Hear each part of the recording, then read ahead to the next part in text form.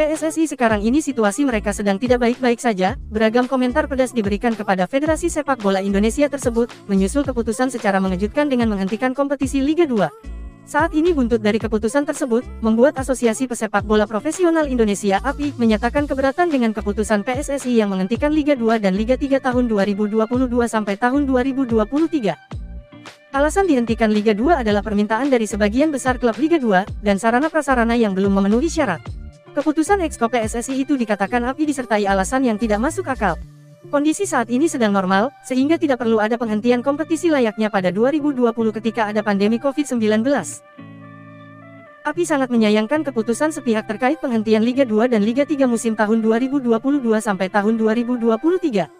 Keputusan federasi menghentikan Liga 2 berdasarkan kesepakatan, sebagian besar klub anggota Liga 2 tidak disertai dengan alasan yang jelas termasuk di dalamnya, adalah tidak ada skema antisipasi dan kompetisi yang disiapkan untuk mencegah terjadinya penghentian kompetisi ini. Perlu digarisbawahi bahwa penghentian kompetisi Liga 2 musim tahun 2022 sampai tahun 2023 bukanlah suatu force majeure, atau keadaan kahar baik menurut kontrak profesional, peraturan FIFA ataupun peraturan perundang-undangan di Indonesia, lanjut API. Penghentian akan berimbas pada konsekuensi yang sangat kompleks, termasuk konsekuensi hukum yang tentunya akan ditempuh para pesepak bola.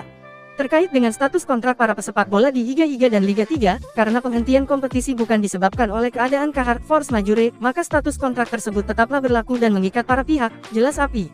Untuk itu API mengimbau bagi para pesepak bola Liga 2 dan Liga 3, apabila terdapat tunggakan gaji dan atau pemutusan kontrak sepihak dari pihak klub, maka harap segera melaporkan kepada API untuk ditindaklanjuti kasusnya secara hukum. Lebih lanjut, API telah berkorespondensi dengan FIFPro dan meminta FIFPro untuk menyuarakan hal ini di level internasional serta meminta FIFA dan AFC untuk menginvestigasi penghentian Liga 2 dan Liga 3 Indonesia. Tak hanya berhenti sampai di sana, kemarahan supporter Indonesia juga semakin meningkat, dan beberapa netizen menyuarakan agar PSSI dibubarkan dan dirombak total sampai ke akar-akarnya, sebab jika PSSI mengadakan KLB namun orang yang diam di organisasinya itu-itu saja, mereka berpendapat masa depan sepak bola Indonesia tetap akan seperti ini.